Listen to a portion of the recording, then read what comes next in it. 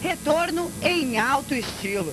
E mais do que uma missão cumprida, o Coritiba viu no acesso à Série A o primeiro passo de uma história cheia de vitórias.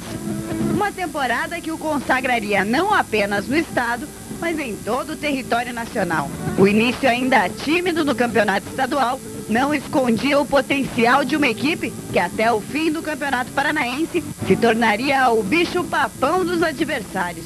Fora de casa, o Coxa acabou com a festa de muitas torcidas. E dentro do Couto Pereira, mostrou sua força máxima. Um time de artilharia democrática. Quase todos os jogadores alviverdes conseguiram balançar as redes na temporada. Apenas Léo Gago não marcou, mas nem precisava. Mesmo sem balançar as redes, foi o destaque de muitas atuações do Alviverde.